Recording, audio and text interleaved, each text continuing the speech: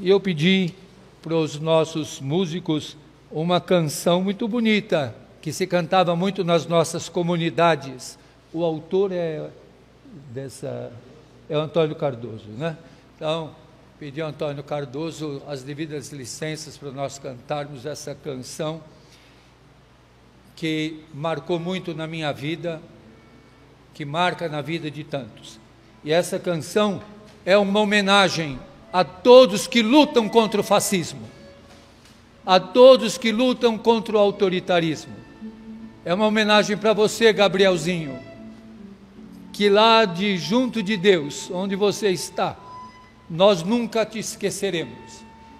É uma homenagem para você, Guilherme, jovem negro e periférico, atingido covardemente pelo aparato do Estado. É uma homenagem a todos que lutam, as torcidas organizadas, a todos os grupos que lutam contra a ditadura, contra fascismo, contra a vergonha golpista, contra todos aqueles que agora parecem que estão de um lado, mas sempre estiveram contra o povo. Agora parecem querem dar uma de progressistas e de avançados, mas tudo que nós estamos vivendo se deve em muito uma parte à mídia golpista que quando apoiou o golpe, atingiu a democracia, atingiu a vida do nosso povo.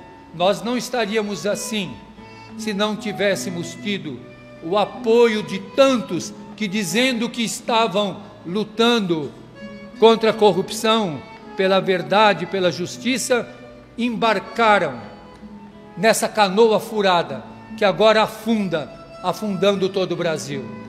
E os que são mais espertos, ainda como ministros, chegam em Miami, rindo do povo, rindo de ter destruído a educação brasileira, rindo de ter como último gesto assinado o término das cotas para indígenas, para negros, para os mais pobres.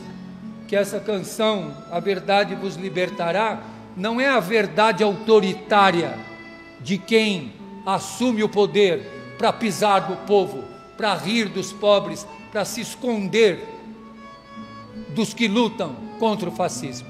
A verdade que liberta é Jesus libertador, é Jesus pobre, Jesus migrante, Jesus refugiado, Jesus cansado, Jesus morador de rua, Jesus que não é acolhido. Os hotéis de São Paulo não quiseram acolher os moradores de rua. Fique bem claro isso. Não quiseram acolher os moradores de rua. Não responderam ao último edital porque eles disseram: não vai abrir agora. Eles estão preocupados com o lucro, não com a vida. Vergonha, hotéis de São Paulo que não acolheram os moradores de rua. Vergonha, ex-ministro da Educação que fugiu para não responder os seus fake news. Vergonha a todos aqueles que apoiam o fascismo, que apoiam o autoritarismo. A verdade é Jesus libertador, crucificado, com o rosto de pobre, de migrante e de lavrador.